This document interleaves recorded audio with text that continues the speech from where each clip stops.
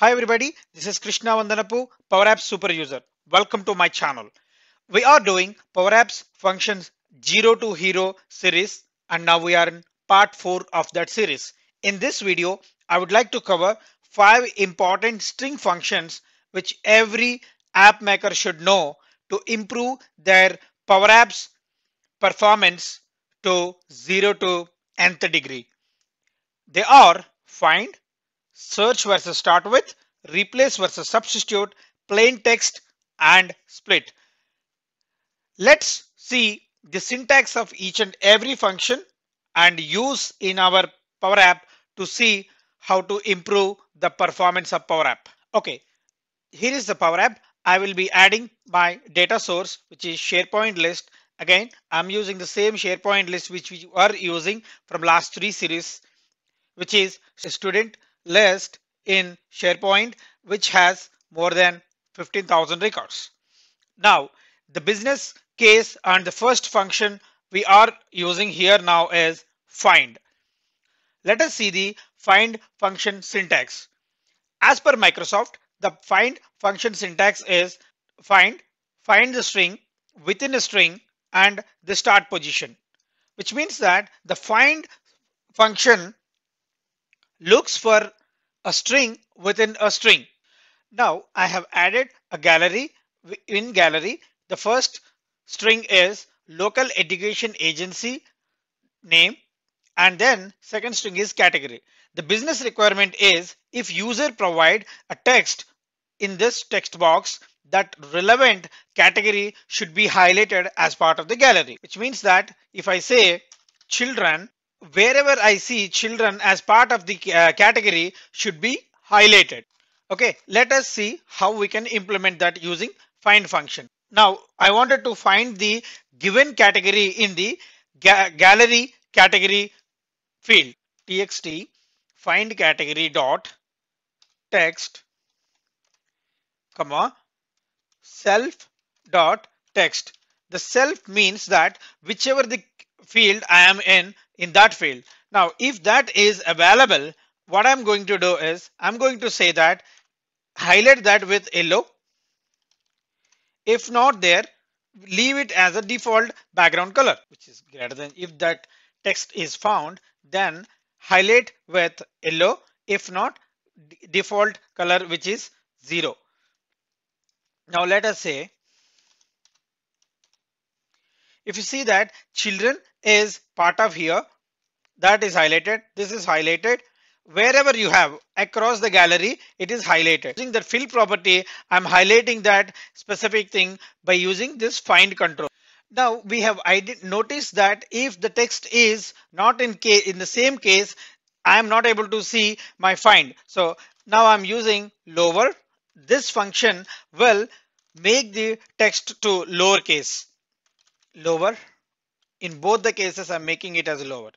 Now if i go and see economy economically when i say economy it is part of economically and it is highlighted automatically.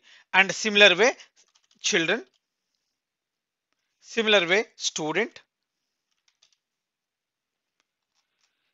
If you see that here the student is a third string as part of my uh, my category in the gallery. But even then it is identified and it is highlighted.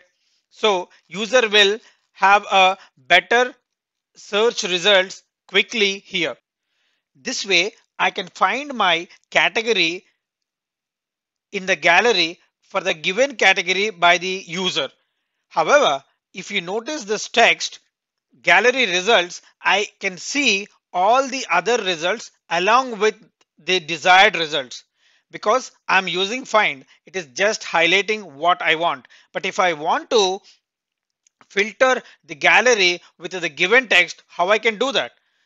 That is where we we have the next two functions which is nothing but search and start with. And let us see what is the search syntax and how it will help to filter the gallery with the given text. As per Microsoft, the search looks in a table or data source for the given text against a specific column or more than one column. Now that we know the syntax, let us implement the search on this Power App against this gallery. The syntax we know that search followed by the data source which is nothing but student information table and now the search string is nothing but find category dot text and I need to specify which column or columns I want to see this text. In my case, I wanted to see against category column. If you see that the result is filtered with all the text which has student. Now if I say economy, see that now I can filter my gallery with all the records which has only my specific provided text. But have you noticed that I see a yellow warning which is delegation warning. What is the delegation warning? What it says to me is that delegation warning the search part of this formula might not work correctly correctly on large data set. What exactly that means is that if I see my Power App has a limitation of 500 records only and if my result set exceeds more than 500 this search might not work properly. But what is the workaround Krishna? The workaround is as I said search work perfectly if the search is against a local data set what do you mean by local data set? Local data set is nothing but our collections. Okay, let us implement the same search against a local data set and see do we see the delegation warning even after that. Let me add a button to create my a collection. Clear, collect. I'm creating a collection, collection, student information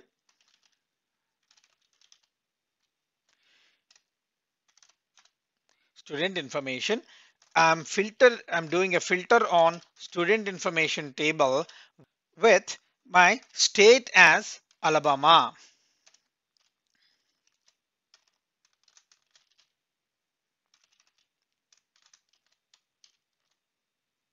Before I go any further, let us see what is my data source. If I look at my student information SharePoint list, I have my state as Alabama and let's see like what are the other states we have.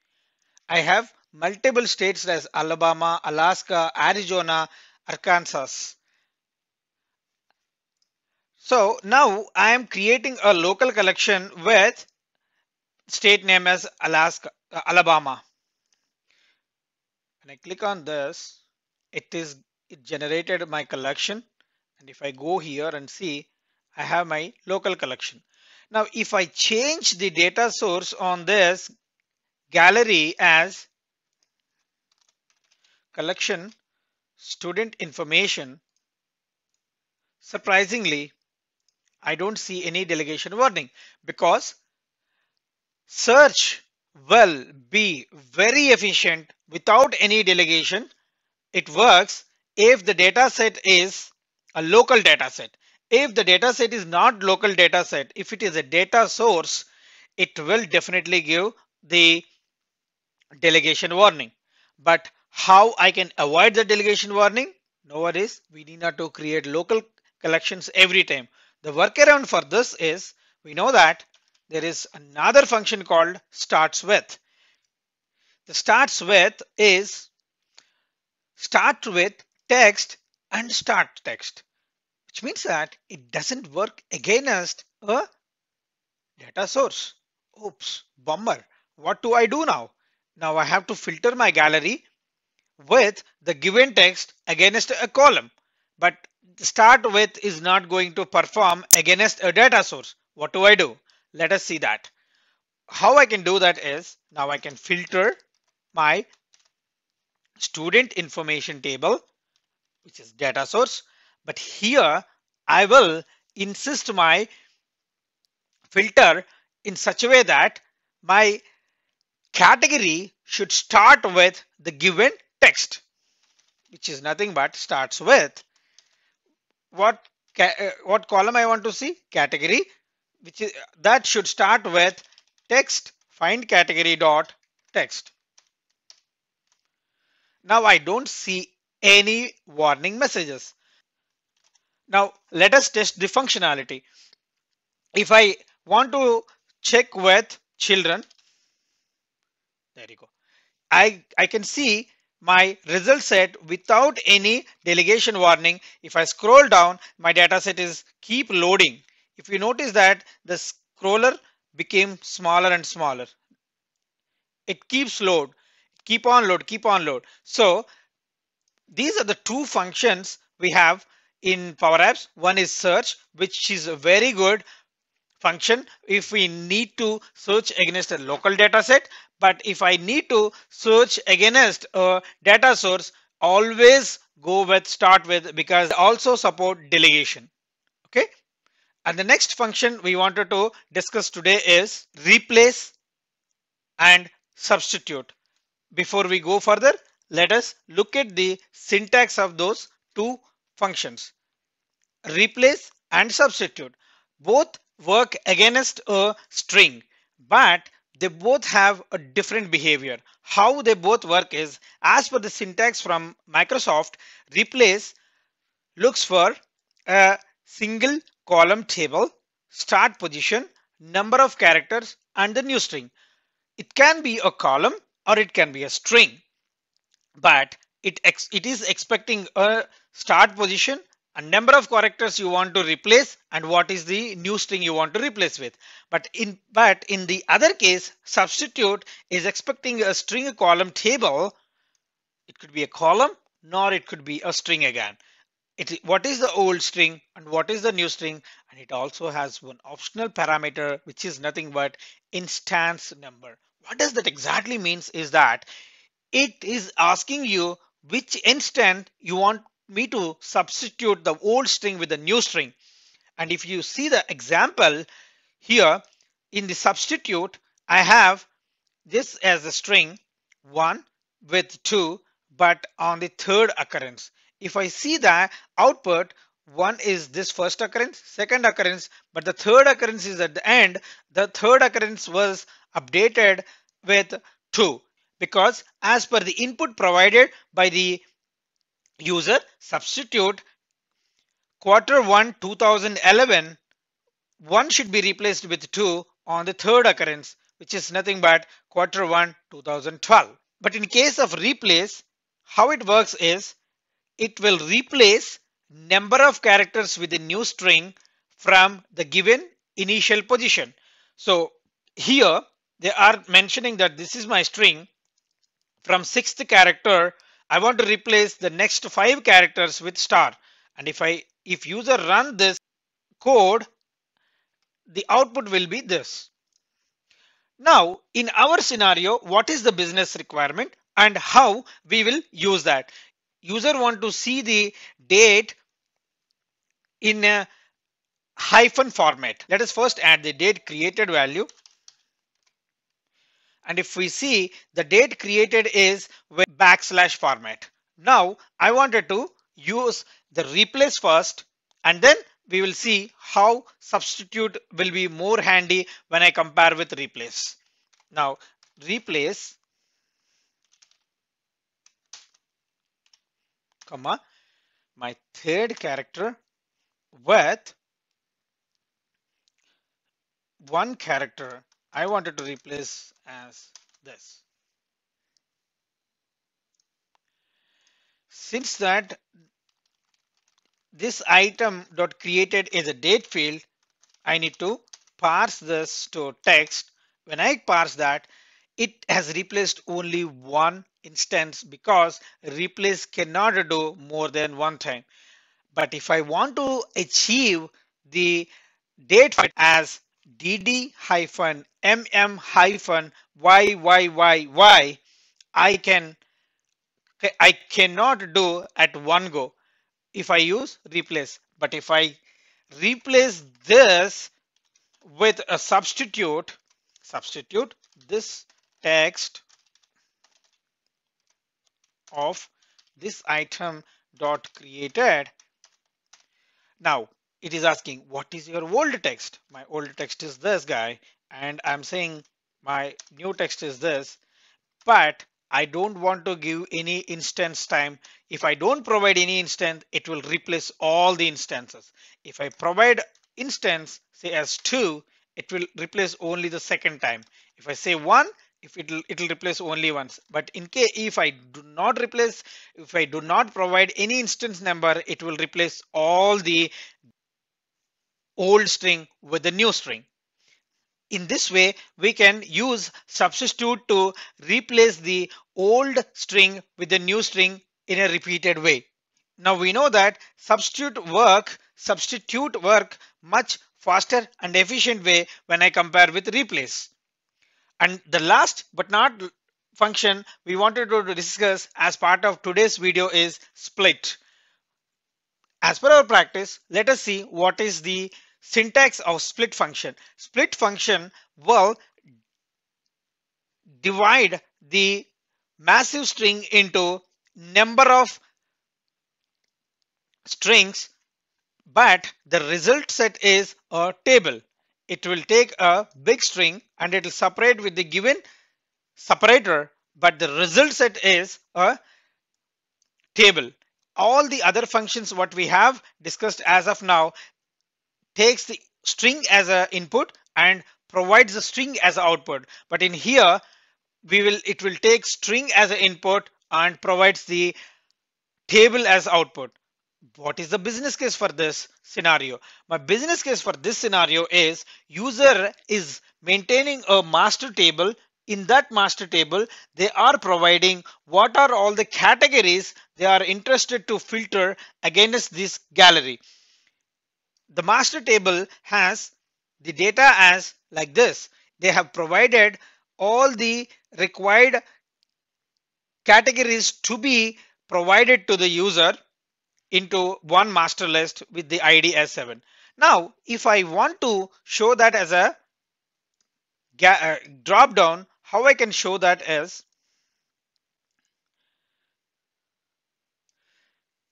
as we already discussed user want to give uh, user want to see only those set of categories to be filtered against my gallery. Now i have to show all those categories which are predefined as part of my master table into this drop down let me add my other data so other list also as part of my power app Now I want to split the given string given set of categories on this drop down. So I want to look up master data with ID value 7 and I wanted to get the title I want to separate with comma. And if I see that this has given me all the given categories as part of my master table, all if I go and see my drop down list, it shows all, all these values. Now, if, if we change the filter criteria with the drop down as drop down one dot selected dot result. Now, if I go back and say that it is as simple as that. Now user will only select whatever it is whatever is coming as part of my dropdown. Last but not least, we have another function called plain text where and what is plain text is plain text is mostly used when we wanted to convert the HTML text into plain text usually what happens is the address and all the other massive text fields will be given in SharePoint as multi-lines text field. Multi-lines text field is always a rich text. And if I wanted to see what is there as part of multi-lines text by providing that as rich text editor dot one dot html text, it will give me all the HTML tags also along with that. If I wanted to avoid that HTML tags as part of my label, what I have to do is a simple function called plain text of that give me the plain text whatever is there in my rich text editor. This is a sample